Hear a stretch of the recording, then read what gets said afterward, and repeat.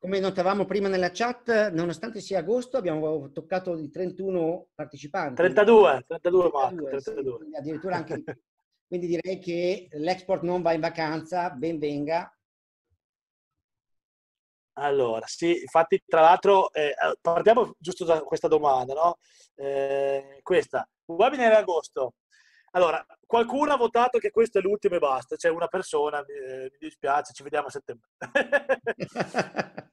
Ho già dato. Ci vediamo a settembre. Poi c'è qualcuno che è addicted e quindi lo fa in qualsiasi mese, eh, eh, ma diciamo che c'è la, la, buona maggioranza che dice che effettivamente è un momento propizio, quindi mi fa piacere che insomma, siamo riusciti a organizzare, ad avere una buona partecipazione perché eh, io anch'io ho votato la 2, è un momento propizio, questo vale anche per me.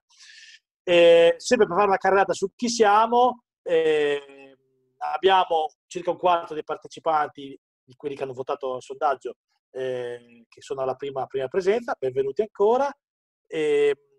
maggioranza di consulenti, stragrande maggioranza di consulenti, come potete vedere.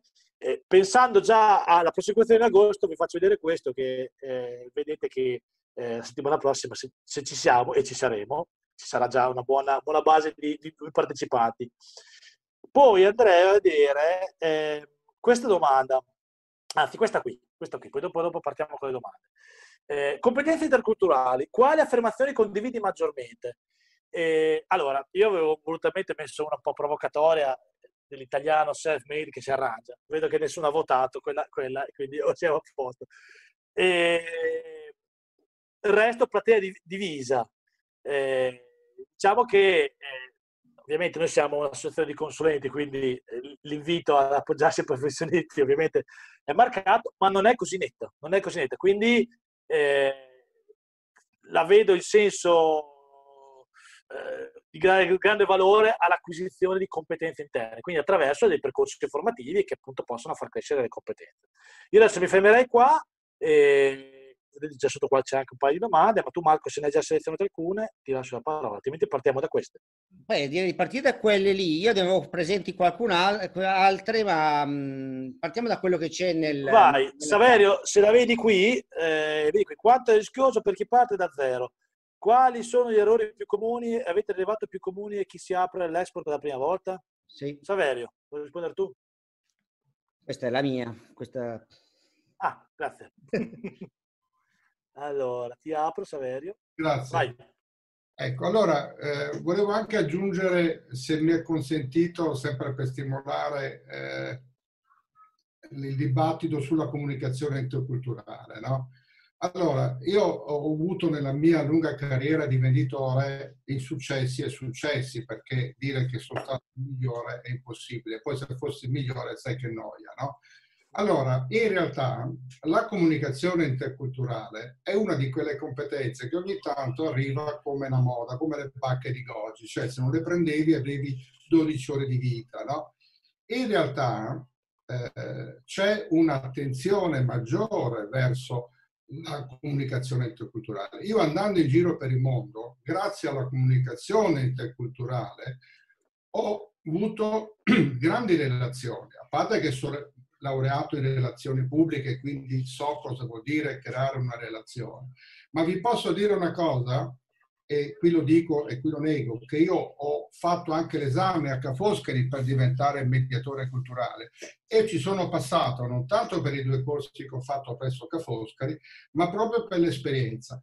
E soprattutto si parla molto di economia digitale, di expo digitale, laddove la comunicazione interculturale avviene e deve essere presa con maggior attenzione, perché è vero che nella parte analogica possiamo sbagliare a dare il biglietto da visita, possiamo guardare con gli occhi con qualcuno oppure no, ma la comunicazione interculturale con i suoi valori subliminali nell'economia digitale crea maggiormente disastri, perché se di fronte ad una persona sbaglia a dare, ad utilizzare un, un dress code o un body language puoi sbagliare una volta, ma recuperi, ma quando sei su internet e sbagli una volta, hai sbagliato verso tutti. Rispondo molto volentieri eh, alle domande, perché c'era eh, ho visto prima in chat una domanda del collega Vaggio che diceva il modello di business quando si va all'estero deve essere cambiato. Allora, qualche tempo fa eh, c'era un modo per, si, si diceva che, e questo è sempre vero, che il modello domestico, cioè la vendita italiana, non può, e qui faccio il dotto e chiedo scusa, sic et simpliciter buttata sull'estero. Va cambiato in modo quasi radicale l'atteggiamento. Perché? Perché gli scenari di comunicazione, di atteggiamento, di dialogo sono completamente diversi. Un esempio per far capire. In Italia facciamo lo sconto 1000 sconto il 50%, poi se c'è il sole alle 5 del pomeriggio ti faccio un 2%.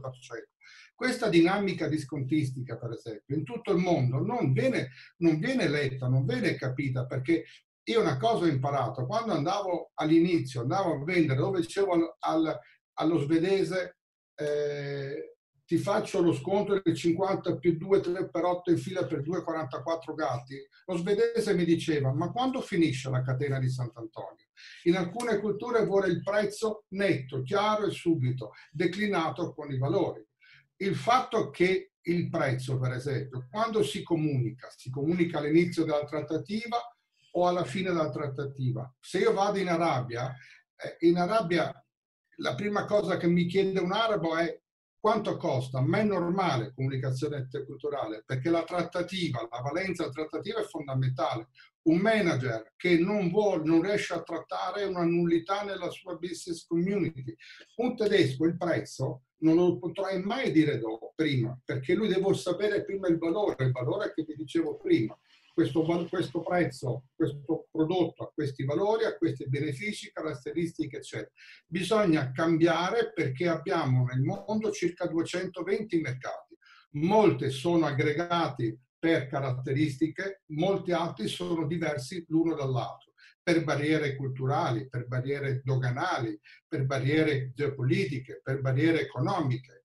E quindi, per esempio, se noi dialoghiamo in euro, ma quando andiamo a parlare in euro con qualcuno, riusciamo ad individuare il rischio cambio, il discorso del rischio che vi dicevo, perché non tutti hanno una, un'abilità a comprendere o a maneggiare il rischio, perché noi per esempio facciamo, se andiamo in Russia, diciamo che un euro vale 8 rubli, ma se invece andiamo in Russia, i rubli sono 8 euro e sono completamente diversi. Se non partiamo preparati noi, in realtà possiamo trovarci in difficoltà. Quindi un, quello che si raccontava Giovanni e quello che affermavo io è proprio questo, prendere consapevolezza che dal processo domestico si è necessariamente abituati ad andare sull'export e con l'economia digitale possiamo fare molte più cose rispetto ad un passato. Quindi, perché se per esempio noi vogliamo vendere la pizza in Germania, possiamo attivarci sui social e vendiamo le pizze anche in Italia però eh, andando all'estero bisogna avere un'ottica completamente diversa e la formazione o la consulenza di noi che abbiamo una certa esperienza serve proprio per indirizzare su questo. E un'altra domanda che, ah sì, scusa, avevo visto. Provo, provo a rispondere io a questa domanda. Prego, eh, Scusami Giovanni. Ma, ma di cosa? Siamo qui insieme a partecipare. E se tutta l'azienda deve essere coinvolta nell'export, allo stesso modo tutta l'azienda deve essere coinvolta nelle altre funzioni. Non si corre il rischio di un tutti sanno un po' di tutto, tipica di molte piccole imprese. Allora, eh, il mio intervento ovviamente non voleva dire tutti facciamo tutto. Il, cioè da tutti sanno tutto a tutti fanno tutto, secondo me ci sono cose diverse. Non è corretto neanche tutti sanno tutto. Questo, eh, immagino che ci sono delle cose che devono anche per questioni di riservatezza, di efficacia, di tempestività, devono circolare in specifici ambiti. E il mio invito, eh, anche se vogliamo un po' provocatorio, era quello di favorire comunque l'interscambio, perché a volte eh, mi è capitato da esperienza diretta eh, in impresa o da consulente di vedere contesti nei quali appunto sembrava di lavorare a compartimenti stagni. E, e quindi cioè, non credo che lo, il risultato sia matematicamente un abbassamento eh, diciamo della professionalità, quindi nel fare tante cose e le so fare, le so fare peggio tutte. Ovviamente un titolare di una funzione sa fare bene quella, è, è, è, in, è, in, organigramma per quello e si occupa di quello. Quando opera da sostituto su altre funzioni non sarà rapido nella stessa maniera, non sarà completo nella stessa maniera, eh, non avrà l'attenzione dettagliata di tutto, quindi potremmo dire corriamo il rischio che abbassi la prestazione, però tutti sanno che è un sostituto, cioè lo sa il cliente, lo sanno i collaboratori, lo sanno, lo sanno, lo sanno, tutti sanno che quello è un sostituto, non è il titolare della funzione, per cui è una questione, non voglio dire emergenziale, ma è un'alternativa, è un'alternativa aspettare, eh, come diceva prima Lorenzo, faccio l'offerta, non me la fanno, devo aspettare tre settimane quando arriva, o due settimane quelle che sono, eh, invece è un'alternativa che può essere anche particolarmente efficace. Quindi ehm, vogliamo, è un po' provocatore, ma la, la, mia esperienza diretta fa sì che questo si può fare. Questo si può fare. È chiaro che devi formare, devi avere persone aperte a imparare più cose e, e svolgere più cose anche in contemporanea. Posso aggiungere una cosa a tuo sostegno, Giovanni? Grazie. Vai, vai, certo. Allora, io da anni sposo una teoria che eh, le competenze devono essere distribuite in maniera di base ma abbastanza approfondite su tutte le competenze. Infatti quando io parlavo di famiglia di competenza, vuol dire che ci sono degli ambiti dove quasi uno o due risorse, qui il concetto del sostituto è fondamentale perché se manca uno l'azienda si azzera, se sono in due si alternano, che sono a loro volta i piccoli consulenti interni. Un esempio pratico, perché la pratica funziona sempre di tutti. Lettere di credito. Io sono 30 anni che formo le persone sulle lettere di credito o sugli Incoterms, l'esempio è lo stesso. In questi corsi avrò visto sì e no tre volte i famosi commerciali perché secondo l'impresa la lettera di credito è dell'amministrazione. Ma dopo che hai fatto il corso all'amministrazione le ragazze dicono ma perché non sono venuti i commerciali? È questo che mi fa un po' arrabbiare. Perché io dico una cosa all'impresa. Quando il cliente col tuo commerciale va praticamente a trattare il prezzo, e quando in pratica la lettera di credito la devi saper comunicare, perché tutte le competenze si comunicano, perché il prezzo non si fa, lo si comunica. Allora, se il cliente ti risponde, per esempio, che il prezzo è too expensive, cioè troppo caro, non gli puoi dire mi dispiace, ti ho fatto bene. Allora, se partiamo dal commerciale che ha una formazione di base dove sa cosa è una lettera di credito, sa come funziona, quali sono i rischi, quali sono i vantaggi se il cliente accetta una lettera di credito.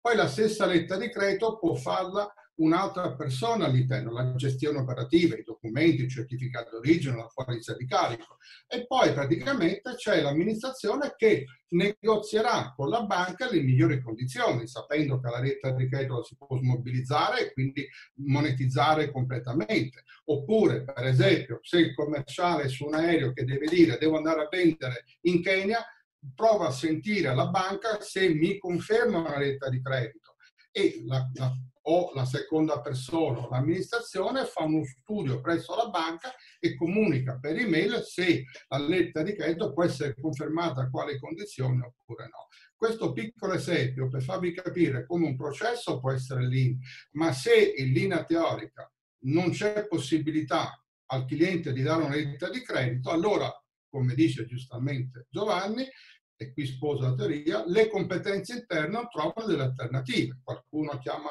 la Siemens per eh, fare un credito, qualcuno sente alla banca per capire se la lettera di credito può essere fatta, confermata oppure no, eccetera. E quindi in realtà questa è un'evoluzione perché si si presenta di fronte ai clienti preparati e non come mi è successo tre mesi fa dove in un'azienda il commerciale ha rifiutato la, la formazione perché soprattutto quando è andato a Singapore il cliente ti ha detto bene i prodotti mi piacciono ti pagherò con una stand by letter credit.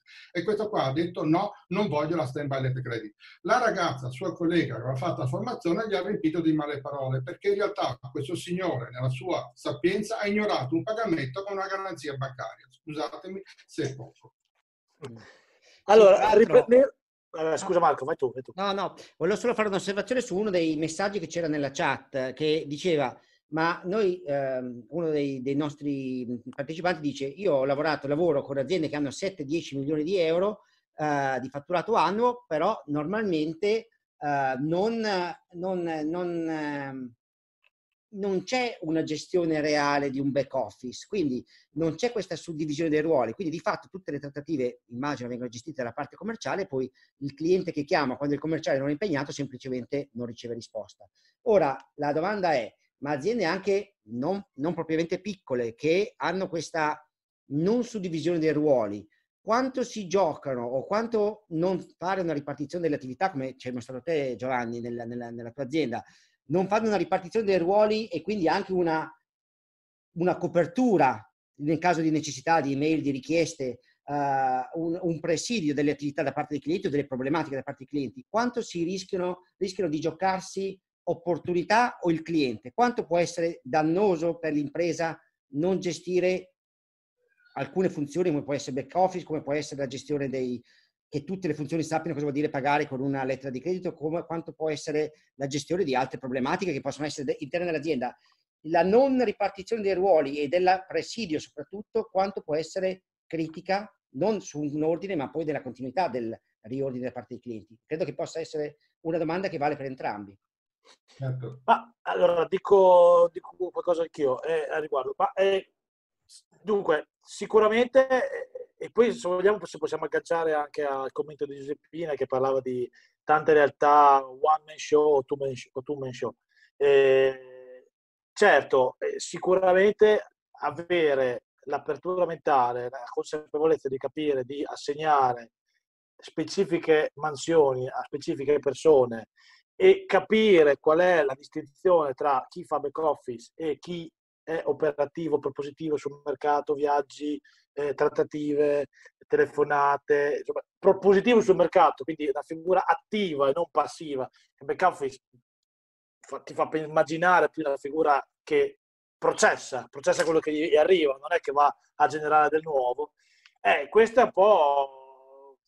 Cioè, non solo una questione di attitudine dell'azienda, ma proprio anche come vuole eh, gestire e pro- proporsi sul mercato. Eh, sa- sa- tutti quanti conosciamo realtà appunto che, che stanno sulla cresta dell'onda, quindi governano anche l'onda, e padroneggiano e altri che sono appunto in balia delle onde.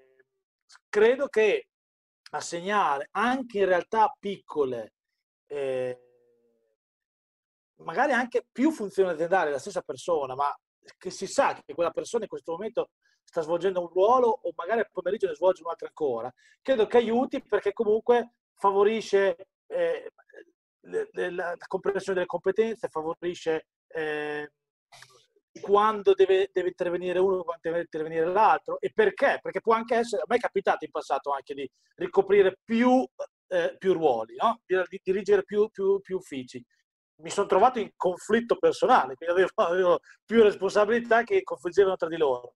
Però que, questa, eh, questa, consapevolezza di, di, rendersi conto, di, dicendo ma se ragiono con questo cappello dovrei andare a sinistra, se ragiono con l'altro cappello forse dovrei andare un po' più dritto, un po' più a destra.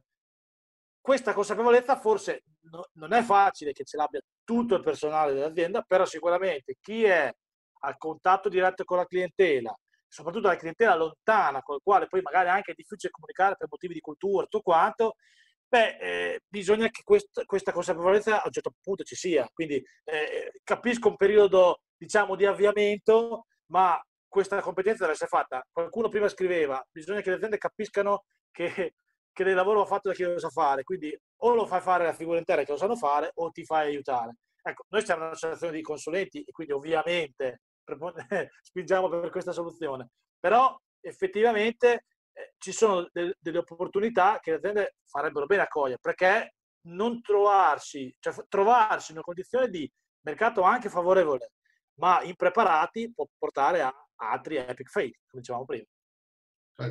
Se posso aggiungere, Giovanni, eh, co- per enfatizzare e aumentare il valore delle tue cose, cioè quando per esempio io andavo in giro per il mondo e stavo via, cioè voi fate conto che ai tempi miei, perché io sono un immigrato digitale, quindi internet nei tempi d'oro non c'era, quindi si, si, si andava negli alberghi e si scriveva sul report pagine gialle, cioè si andava a prendere le pagine gialle negli alberghi, strappavi le pagine del settore meteorologico, ti servivano per, per avere informazioni.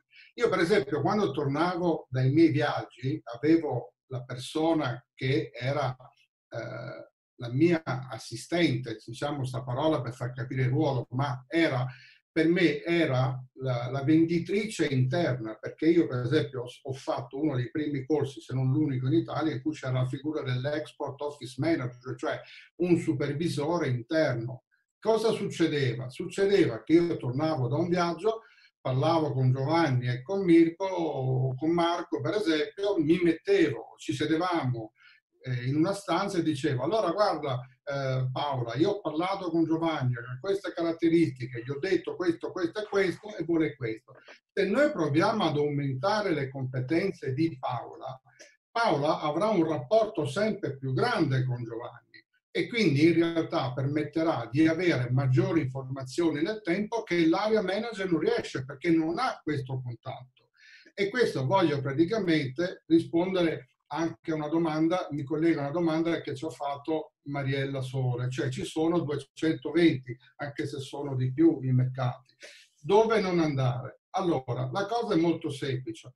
Eh, bisogna volare bassi perché in tutto il mondo non c'è un'azienda che sia in grado di esportare in tutti i paesi del mondo. Non lo può fare la Coca-Cola, non lo fanno le, eh, le, grandi multinazionali, per cui quando io vado ad un'azienda che mi sento dire ah ma noi esportiamo in tutto il mondo, là già sarebbe da fare un po' di formazione perché tu puoi esportare magari ai cinque clienti dei cinque continenti, ma non puoi essere presente su tutti i 240 mercati.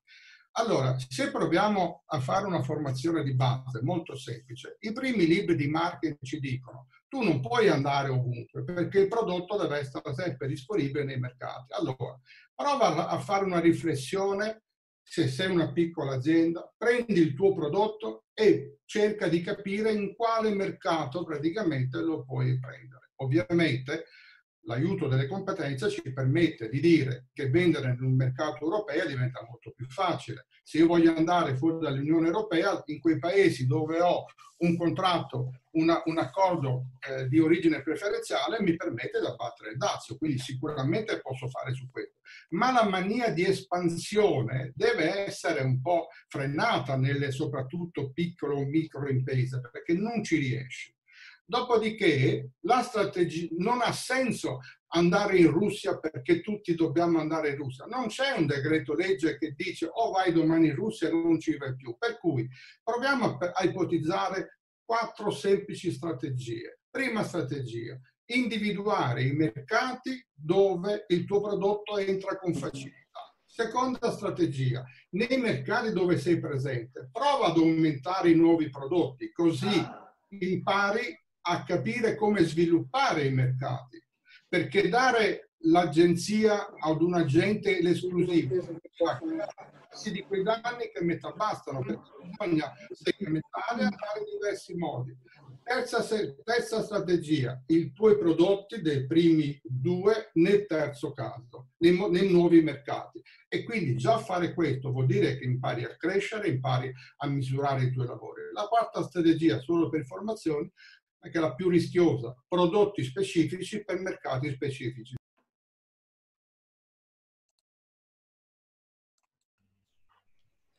Uh, Siete? Sì, ok. Sì. Grazie Saverio. aperti per tutti.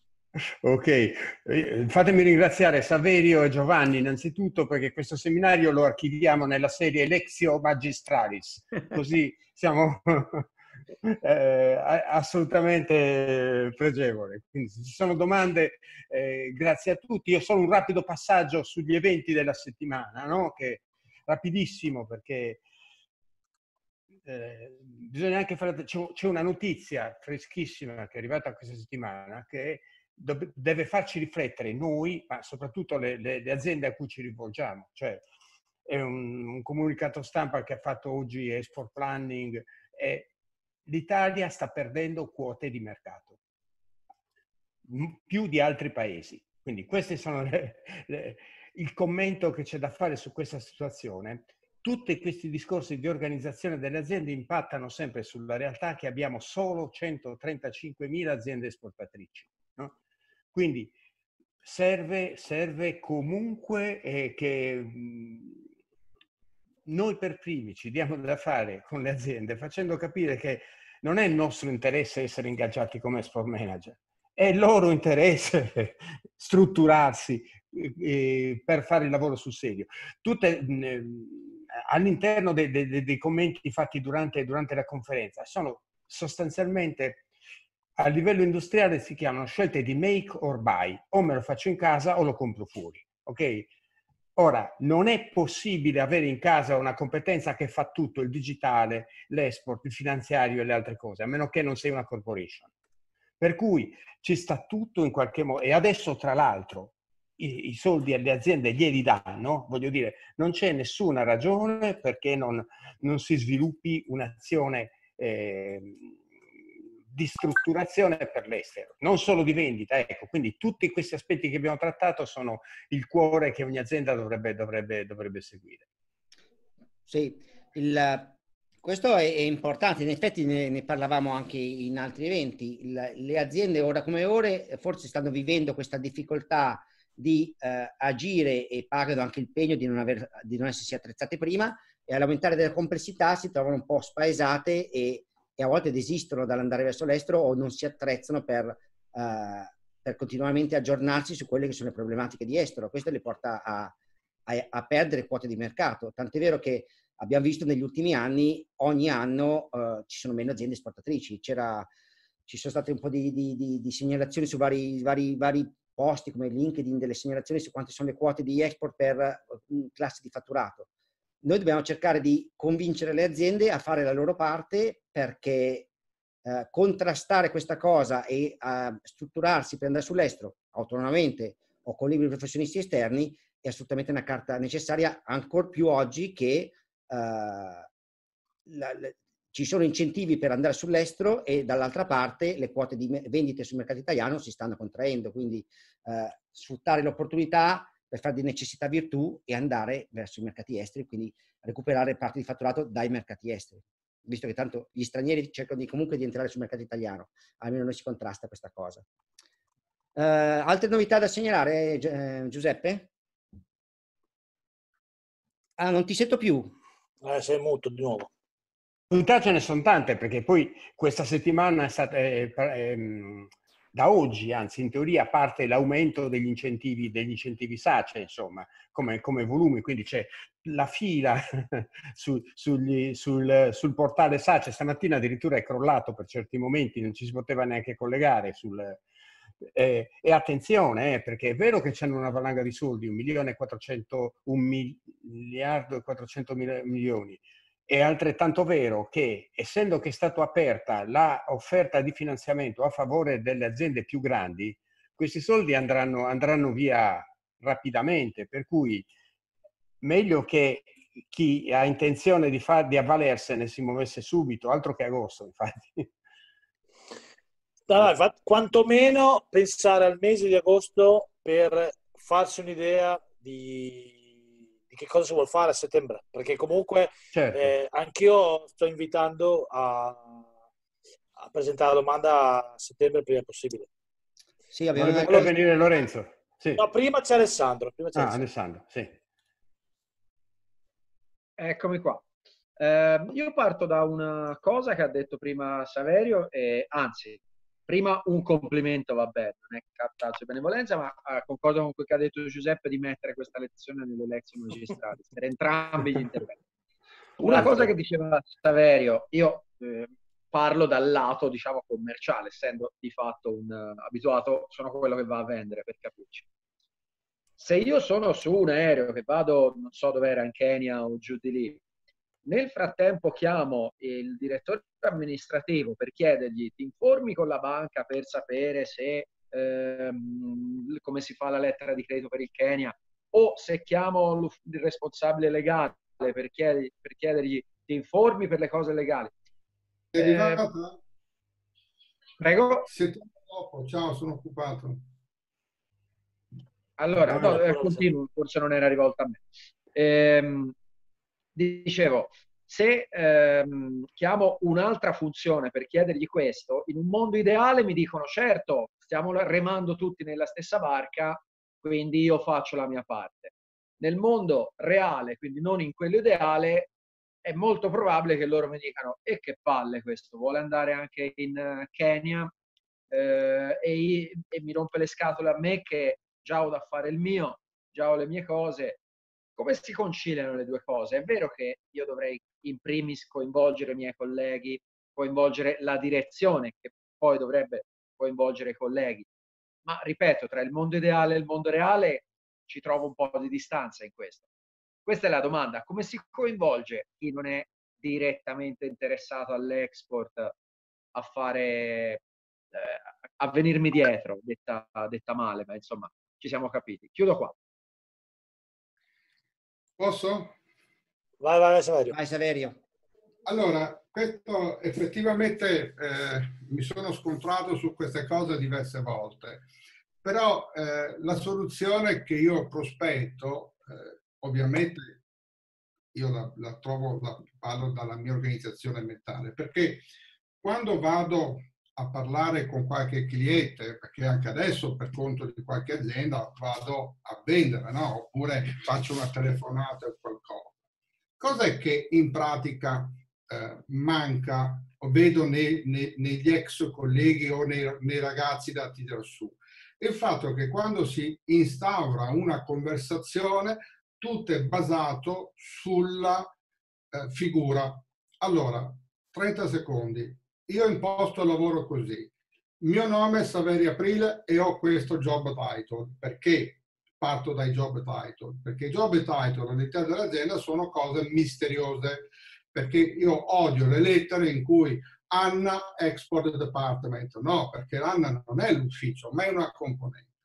Ma quando noi parliamo con dei clienti, allora dico, io sono il venditore, sono un area manager, io seguo questi 10 mercati o 13 mercati, quindi è probabile che io sarò su un aereo, sarò, eh, sarò occupato per fusi orari, per altre cose, eccetera. Ma io quello che faccio preparare, e quindi per me è fondamentale, è eh, l'executive summary, cioè io porto o digitale o cartaceo per dire i miei collaboratori nel nostro export department ci sono queste figure, c'è Giovanni, c'è Paola, c'è Anna, c'è Barbara che fa questo, quindi molto probabilmente tu sarai contattato per un problema di customer care da questa persona. Io te lo lascio perché tu sei, devi abituarti in qualche modo a ragionare. Questo se un'azienda abbastanza strutturata.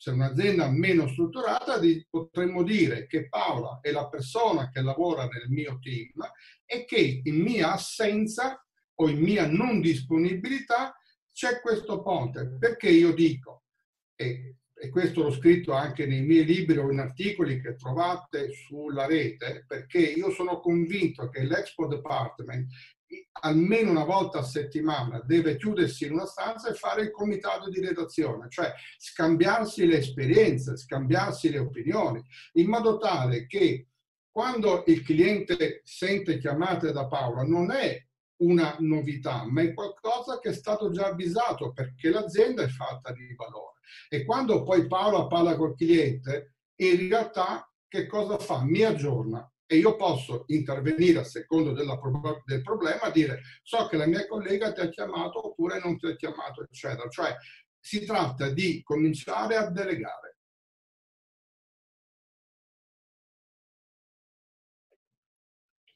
Vedo che qualcuno sta cominciando a, a lasciare... Era Lorenza che voleva fare un intervento. Ah, bene. Io ho finito. Sì, sì, sì. Lorenzo, puoi aprirti. No, mi Posso sa che sono il che devo Posso andare. parlare? Vai, vai, vai. Okay, vai. Allora, grazie Saverio e grazie Giovanni degli interventi. Saverio, comunque non buttarti così giù, 42 anni di esperienza, sta tornando postal market, quindi alla fine sono eterni ritorni. Eterni ritorni. Io eh, cresciuto con postal market, lo aspettavo, eh. volevo, farvi, volevo farvi una provocazione. È, è, difficilissimo, è difficilissimo resistere come consulente dentro un'azienda.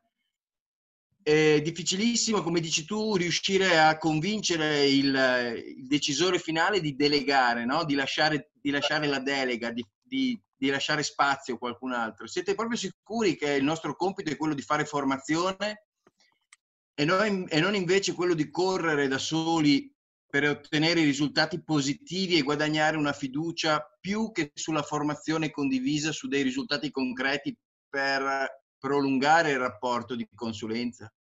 Perché due cose insieme si, fanno, si fa fatica a fare, non puoi fare formazione e risultati. Io credo per la tipologia di aziende che vedo che bisogna correre chiaramente con, eh, con i ritmi che sono consentiti ai mercati, ogni mercato è diverso, ma piuttosto che insistere a infastidire la bestia, fai, fai due fatiche alla fine, conviene magari lavorare più slegati, magari usare le risorse dell'azienda, perché altrimenti, eh, ripeto, spendi tempo nel formare, il, l'imprenditore non vede i risultati, dopo sei mesi ti saluta.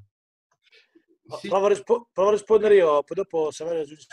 Allora, sono allora, molto d'accordo con questo, con questo dubbio, cioè anch'io ho questo dubbio spesso, ma come dire, cioè, corro o, o, o, cerco di eh, co- accompagnarli? E io dico che nei progetti che seguo in parallelo, anche per mia personale organizzazione, cerco un mix eh, che non è sempre facile da trovare, ma cerco di avere un mio mix. Quindi in parallelo avere dei progetti dove io corro, vado, vado, vado e cerco di essere anche particolarmente autonomo, cerco libertà d'azione, cerco eh, sì, eh, armi da poter usare io in prima persona e in parallelo invece seguire progetti dove è proprio più un accompagnamento, un, un, un tutoring. Eh, sono, sono abbastanza d'accordo che deve essere preponderante l'uno o preponderante l'altro. Io la vedo, la vedo così, perché altrimenti, come dici tu, è facile che tu hai fatto un grande lavoro di formazione, coinvolgimento, eh, accrescimento della consapevolezza, far, fa, gli fai conoscere strumenti, situazioni, attualità, eh, però poi dopo arriva uno che dice sì, ma non hai venuto un cavolo, ciao, arrivederci. Eh, ma questo è un rischio che corriamo tutti, corro anch'io, prima parlavamo non viene sempre tutto bene, c'è belle col buco, senza buco, capitano a tutti, e, e quindi dico, eh, è, un, è, un, bel dilemma. Io cerco di tenermi, il mio personale suggerimento operativo è, ho in parallelo un po' di progetti che sono, sono soprattutto di accompagnamento e dei progetti che sono soprattutto di, di corsa in solitaria.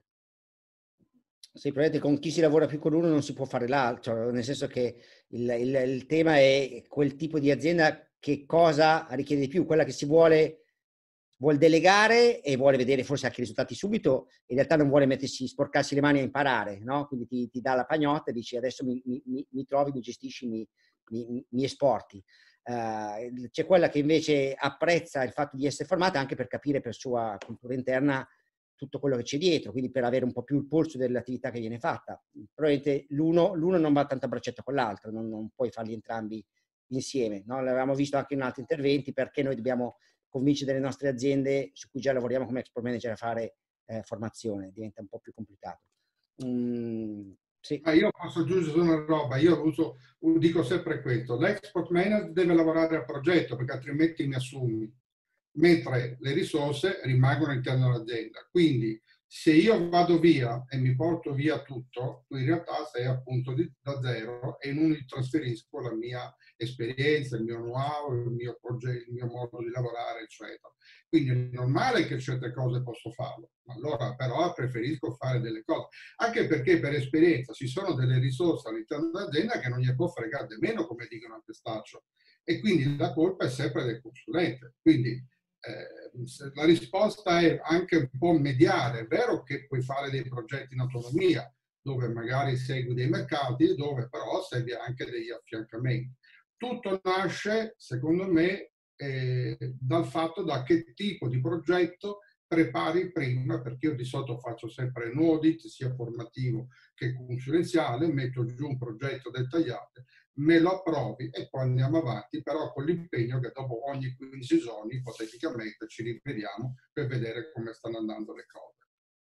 Sì, e poi necessariamente la, la, scelta è bionivoca perché anche noi come aziende, prima di prendere un'azienda, dobbiamo aver chiaro che tipo di collaborazione abbiamo dall'azienda, perché l'azienda con le persone, leggevo prima nella chat, un po' invidiose o che possono dare poco supporto, avremo ben poca possibilità di fare eh, risultati, perché se non c'è la collaborazione, quello che dicevamo negli interventi di oggi, di tutta la struttura aziendale e poco, se non c'è il supporto dell'amministrazione che ti fa i documenti, non vai da nessuna parte. Se non c'è disponibilità del magazzino che ti fa uh, prepara la merce come si deve, non vai da nessuna parte. Quindi tu devi avere, se la dirigenza non ti dà delle risposte per tempo, non vai da nessuna parte. Quindi devi avere, per prendere un'azienda devi già sapere che in realtà è aperta mentalmente a quello che c'è da fare. Se non c'è, mh, lavorare nel primo scenario, quello di, di fare, di fare eh, il consulente estero, quindi non parlo, non parlo della formazione, parlo, parlo dell'attività di export diretto, eh, non puoi farlo fondamentalmente, senza un, senza un, supporto dell'azienda nel suo insieme, al di là delle, eh, che vuol dire quindi più persone, più figure professionali, più eh, più persone spe- dello specifico che devono essere coinvolte ti devono dare risposte per tempo e adeguatamente, perché anche il per tempo non è una componente da poco, ci sono delle aziende che ti rispondono dopo due settimane, dopo due settimane quelli hanno già lavorato con tre ordini dalla Cina, quindi, quindi non si riesce. Eh, La, quindi, Volevo aggiungere una cosa, che allora, no, diciamo le istituzioni non sempre ci aiutano, però eh, andando proprio sul pratico, eh, mi viene invece da citare un caso dove le istituzioni invece hanno, sono state di aiuto. Eh, il mese scorso ho eh, emesso qualche offerta, non tantissima, qualche offerta per un bando organizzato da Union Camera Emilia Romagna. Questo bando eh, prevedeva diverse tipologie di azioni.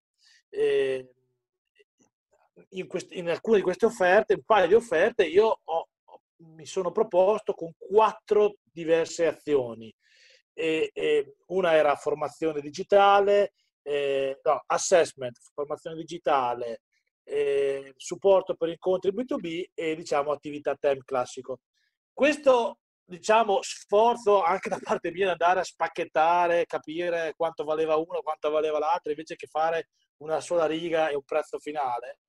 In realtà cioè, aiuta questo perché comunque nell'andare a individuare un valore, dare un valore a quelle azioni fa capire ancora meglio all'impresa eh, quanto vale quello che tu stai facendo, cioè quanto tempo tu dedichi a fare una cosa, eh, quando tu entri, magari quel giorno entri per fare formazione o entri per fare supporto per le vendite o entri per fare un'indagine su, sullo stato attuale dell'azienda. Quindi eh, a volte ci sono anche, c'è la burocrazia, paradossalmente, che a volte ci aiuta e quindi io mi, infatti mi sono chiesto in queste settimane se continuare ad avere questo, eh, questo grado di dettaglio no? nel, nel, nel, mettere le offerte, giusto per anche co- far capire meglio alle imprese quanto vale un singolo pezzo del mio intervento. Sì. Quindi ti, ti, ci stai ancora meditando se, quale, se lo sforzo... Eh, non sono, non, so, non, sono, ancora convinto, eh, però, però eh, quando diciamo obbligatorio o forzatamente conveniente per questioni di, di graduatoria di un bando, ovviamente lo faccio. Eh, ma non è stato facile, perché poi dopo lì, tra l'altro, bisognava andare a citare costo orario, quante ore per ogni singola azione, che diciamo che in alcuni casi sono proprio delle, delle vere stime. Però questo esercizio, anche poi nello spiegare, raccontarlo a clienti, barra potenziali clienti, è, è qualcosa che ci aiuterà. Ecco, io penso che ci verrà utile in futuro nel, nel, nel capire come dare peso ai risultati raggiunti di una o l'altra attività. Sì, è un bello spacchettamento che ti torna comodo per dopo, perché in realtà mostra una maggiore ampiezza di quello che puoi fare perché è l'unione di tanti, tanti, tanti pezzi e, e, tu in realtà ognuno di questi è, è, una, è un'attività a sé in realtà e quindi è eh sì, un servizio a sé acquisibile esatto. per semplicità eh, penso che lo facciate quasi tutti, eh, magari cerchiamo di semplificare offerte, eh, fatture, contratti, però eh, in questo frangente detto, la burocrazia un po' ci viene incontro perché a volte appunto eh, uno dice ma potevi formarmi di più, Beh, io te l'avevo detto quante ore ti facevo di formazione, no? Eh, oppure potevi dedicare più tempo a, fare il tempo, ma io te l'ho detto quanto lo, quanto l'avrei fatto, te l'ho anche scritto e quindi vabbè, così, dai, chiediamo sempre conto della burocrazia, una volta una cosa a favore. Allora, se non ci sono altri interventi, eh, siamo, abbiamo sforato le 18.30 il 6 di agosto. Eh, devo dire che Con, collegamento da, Marco dal mare, collegamento Marco dal mare che lo ringraziamo perché ci ha aiutato la regia anche, anche, anche dal mare. Puoi andare a fare un bel aperitivo in spiaggia adesso. Ah, adesso sì, per... aspettiamo la, sor- la sorpresa no. della settimana prossima. Volevo... ok, dai Giovanni. Abbia- ah, riceverete nei prossimi giorni, diciamo, qualcuno lo riceverà in agosto, qualcuno lo riceverà magari dopo, però abbiamo segnalato sulla newsletter di un export manager e uh, riceverete informazioni che um, abbiamo, una, avre, uh, abbiamo, intrapreso l'azione di mappatura delle competenze dei, degli associati, competenze sia in ambito formazione, finanziate non, sia in ambito uh, professionale, quindi l'ambito in cui possiamo andare a offrire dei servizi alle aziende, quindi per settore merceologico, per area geografica, per tipo di attività digitale, tradizionale, fiere, qualunque cosa sia la pertinenza delle nostre attività come liberi professionisti, almeno degli associati un export manager. E quindi chi, qualcuno ha già mandato le informazioni già a suo tempo, uh, chi non l'ha ancora fatto è invitato a compilare il modulo e chi non ce l'avesse lo, ce lo può chiedere ai, al team, a me direttamente su LinkedIn, poi vi manderò il link di dove è la cartella con il form da compilare. Questo ci servirà per avere una, un quadro generale, una mappatura proprio dei nostri associati e comprendere come intervenire laddove riceviamo richieste, riceveremo richieste mh, da aziende, da imprenditori, da uh, persone interessate ai nostri servizi e quindi come muoverci al meglio in questo ambito.